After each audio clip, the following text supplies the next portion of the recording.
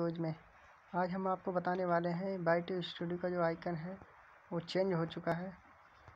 सबसे पहले आपको देखना होगा, बाईटी स्टूडियो डाउनलोड जाना होगा और आप देख सकते हो, जो बाईटी स्टूडियो का आइकन है, वो सारा प्रोग्राम चेंज हो चुका है।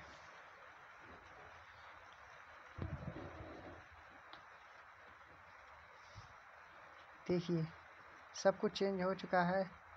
व्यूज़ अलग दिखा रहा है और वॉच टाइम ये इधर अलग दिखा रहा है। बाकी आपका कंटेंट वगैरह सब इसमें आ जाएगा। आप देख सकते हो आपका कंटेंट सब एक तरफ़ हो गया। लाइव शॉर्ट सब हो गया एक तरफ़।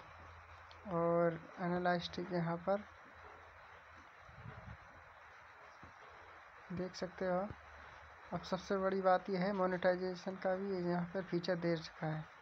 तो आप देख सकते हैं यहाँ पर अपना मोनेटाइजेशन का भी फीचर यहाँ मिल जाएगा आपको। यहाँ से ही आप मोनेटाइज कर सकते हो चैनल को। अभी मेरा हुआ नहीं है कंप्लीट यूट्यूब से रिक्वेस्ट करता हूँ कि मेरी वीडियो को ज़्यादा से ज़्यादा वायरल करें ताकि मैं भी कर सकूँ अपना मोनेटाइज चैनल तो वीडियो में बस इतना ही।